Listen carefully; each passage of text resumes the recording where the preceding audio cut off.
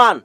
And verse 1 will convince you and help you to know that the saint, God's people, the church, we're going to be here. We're going to go through the persecution before Jesus Christ come. Just like Paul says, Yea, whosoever shall live in godly shall suffer persecution. But notice, according to Daniel chapter 12, verse 1, God's people shall be delivered. Notice, we're going to be delivered. Jesus Christ will protect us. So stand for God, the one who wake you up every day. God is the one who created you, friends. And like I says, at this time, whenever they start persecuting, just like they did in dark ages, Bible help us to understand that Jesus Christ will come, friends. If the day is not short, and I repeat this again, no flesh will be saved. For the elect's sake, friends, the day will be shortened. Jesus Christ will cut the day short Otherwise, no flesh will be saved, friends. But God will protect us, like I said. Stand for God. This is the encouragement for you, friends. This how deep God loves you. Because the great controversy between good and evil, the devil is the one who killing God's people. The father of all lie, the murder. Notice so God will let us go through. So in the end, everybody will bow down and you know and, and, and prove that God is the one who's the holy. He's the one who didn't do all this mess. Is the devil who do that killing and behind the scene using the human, you know, telling mankind to push. I mean, using their conscience and letting them know that you know God is the one who's in control, friends. I want you to know that every good things come from above. So now let's read Second Thessalonians chapter 2 verses 1 and see if we can read it up to verse 12 for the sake of time. Notice verse 1 says, Now brethren, concerning the coming of our Lord Jesus Christ and our gathering together to him, we ask you not to be soon shaken in mind or trouble either by the spirit or by the word or by the letter as if from us as though the day of Christ has come. Notice what it says in verse 3. Let no one deceive you by any means, for that day will not come unless the falling away comes first, and the man of sin is revealed. The son of prediction who opposes and exalts himself above all that is called God all that is worship, so that he sit as God in the temple of God, showing himself that he is God. You now remember that when I was still with you, I told you these things, and now you know what is restraining that he may be revealed in his own time. And notice what Paul says in verse 7 For the mystery of lawlessness is already at work. Only he who now restraining will do so until he is taken away of he is taken out of the way. Notice. And verse 8 says, And then the lawless one will be revealed, whom the Lord will consume with the breath of his mouth and destroy with the brightness of his coming. Notice what it says in verse 9. The coming of the lawless one is according to the working of Satan with all power, signs, and lying wonders. This is what it says in verse 10 so that you will know if you don't receive this love of the true, notice what it says, you're going to be doomed. So, and with all unrighteousness, deception among those who perish because they did not receive the love. And verse 11 says, and for this reason, God will send them strong delusion that they should believe the lie. Verse 12, notice that they all may be condemned who did not believe the truth, but has pleasure in unrighteousness. Oh, friends, this is the Antichrist power that the Bible says. But unfortunately, like I says, a lot of people don't know who the Antichrist anymore.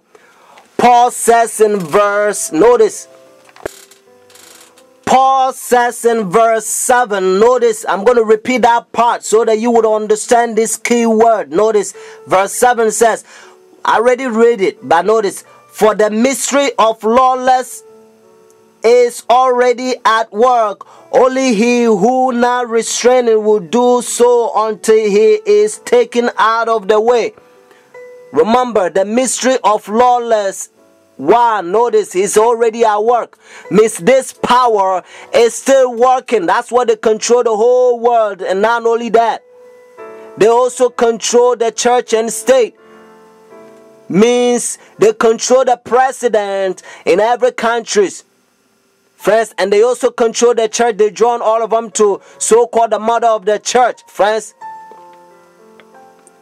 but the mystery of lawlessness is already at work. That paul says paul help us to understand that the rome notice rome is the same power that is still working now because rome turned to papal rome when a Constantine united the church and state together, that's what they call it. Roman means the state. Catholic Church means the church. Notice Roman Catholic Church, the church and state. But the same Rome that they turned to Papal Rome is still in control, is working behind the scene and fooling the whole world. But this power is going to be revealed in the last days. Whenever they enforce their pagan sun worship they they will start persecuting god's people. Those we're going to say no to the devil because according to revelation chapter 13 the devil is the one who give his throne power and great authority to this power that the revelation also has a different name for this power. They call this power the beast. And just in case you don't know, in Daniel chapter 7, verse 17, the beast represent the kings. Notice, that's why God used that symbolic, the beast, to teach us a lesson. So this power is called the beast.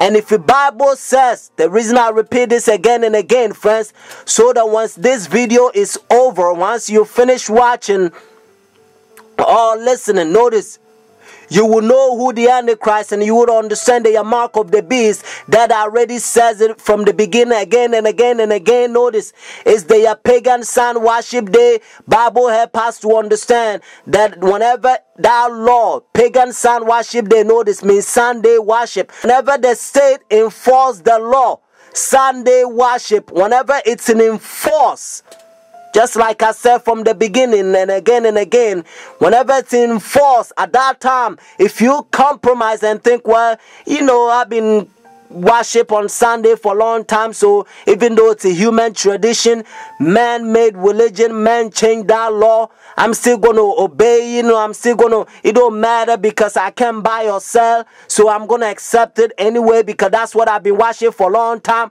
Friends, I want you to know that don't fool yourself. Whenever you accept it, whenever the law is enforced, whenever you heard about it that they they telling the people to worship, at that time, if you compromise, just like Bible called this power the beast in Revelation 13 and also 14.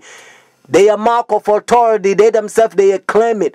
And Revelation 13, if you read verses 1 to the end, you will find out that it's all about worship issue. The mark of the beast that I told you before. The devil, the devil behind the scene wants the whole world to worship him.